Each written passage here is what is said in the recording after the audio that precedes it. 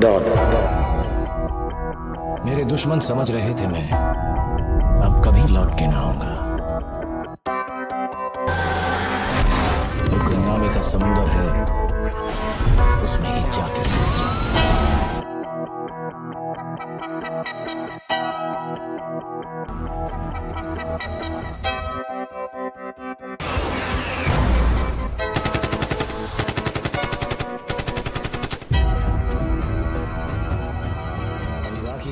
कहानी है। सारी दुनिया को जो सुनानी है, मुझे पहचान। क्या बनने जा रही है डॉन थ्री क्या अमिताभ बच्चन ने दिया डॉन थ्री का इशारा?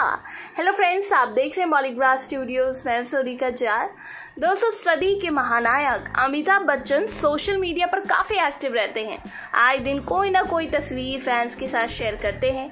इन दोनों वो थ्रो तस्वीरों को शेयर कर रहे हैं। हाल ही में उन्होंने 1978 में आई फ़िल्म डॉन की एक थ्रो बैक तस्वीर शेयर की, जिसमें फ़िल्म की एडवांस बुकिंग के दौरान थिएटर के बाहर लोगों की भीड़ दिख रही थी। वहीं आज फिर से उन्होंने एक और थ्रोबैक तस्वीर शेयर की है, जिसमें उनके साथ नज़र आ रहे शाहरुख खान। और इसी के बाद डॉन थ्री ट्रेंड करने लगा है, क्योंकि लगातार दो डॉन की ऐसी अपडेट्स और फिर डॉन थ्री का इशारा।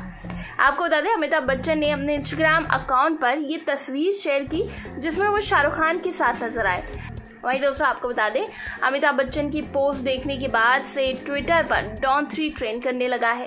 फैंस को लग रहा है कि बिग बी ने फ़िल्म को लेकर कुछ हिंट दी है। फ्राइडे को बिग बी ने डॉन की एडवांस बुकिंग के दौरान फ़ोटो शेयर की। एक फ़ैन ने लिखा, और अब ये होने वाला है बिग बी ने भी पोस्ट करके हिंट दे दिया है। वहीं दूसरे पोस्ट पर लोगों ने कमेंट किया, ऐसा लगता है कि फरहान ने स्पाइडरमैन नो वे होम देखी और दोनों डॉन को एक साथ लाने का सोचा है। वहीं दोस्तों, आपको बता दें, अमिताभ बच्चन की वर्क फ्रंट की बात करें तो ब्रह्मास्त्र में नज़र आएँगे और इसी फ़िल्म में उनके साथ शाहरुख खान भी नज़र आने वाले हैं। इस फ़िल्म में रणबीर कपूर, आलिया भट्ट, मोनी रॉय और नागार्जुन है। 9 सितंबर को ये रिलीज़ होगी।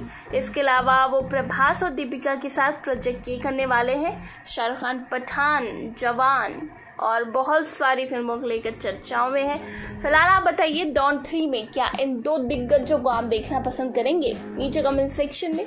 और इसी तरह के दूसरे अपडेट्स के लिए सब्सक्राइब करिएगा हमारे चैनल बॉलीग्राफ स्टूडियोज़ को।